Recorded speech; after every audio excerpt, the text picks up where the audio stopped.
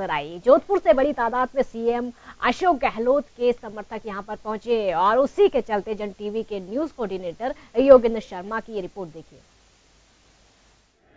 अशोक गहलोत ने मुख्यमंत्री के रूप में तीसरी बार शपथ ली है।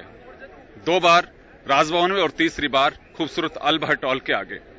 हमारे साथ इस वक्त जोधपुर के कुछ कार्यकर्ता और विधायक हैं, उनसे बात करेंगे, कितना उत्साह है। अशोक जी तीसरी बार मुख्यमंत्री बने हैं।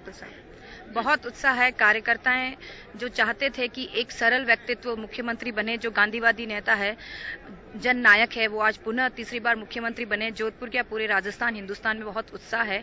और कार्यकर्ताओं और आम जन के लिए, किसानों के लिए, महिलाओं के लिए और युवाओं के लिए जो उन्होंने पिछली बार में भी उन्होंने जो रास्ते खोले थे, और इस बार पुनः हमें पूरा विश्वास है कि हर वर्ग में के रास्ते खुलेंगे, विकास के रास्ते खुलेंगे, और चरम सीमा पर राजस्थान का विकास होगा।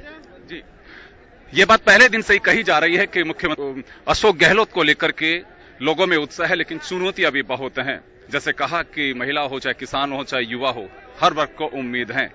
जी क्या नाम आपका? मैं हेमलता चौधरी जोधपुर से। हेमलता जी चुनौतियाँ बहुत हैं अशोक जी के सामने। चुनौतियाँ हैं लेकिन वो हम पूरी करेंगे। हम आ, मतलब मैं जो गाँव को स्मार्ट बनाने के लिए निकली हूँ और ग्रामीण कौशल विकास योजना को लेके हम लोग चलेंगे और एक एक गाँव को पकड़ेंगे स्मार्ट करेंगे तो अशोक जी अपने आप ऊपर उठेंगे और हमारी गवर्नमेंट वापस आएगी। वो भी सेंट्रल में। चलिए।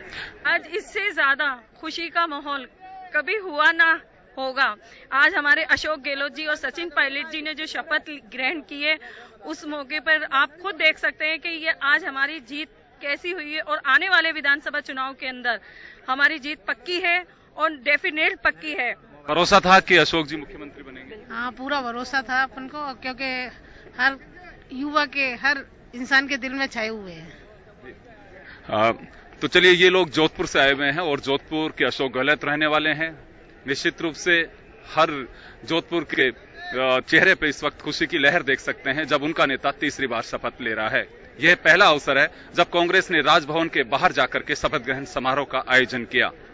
कैमरा पर्सन गिरिराज के साथ योगेंद्र शर्मा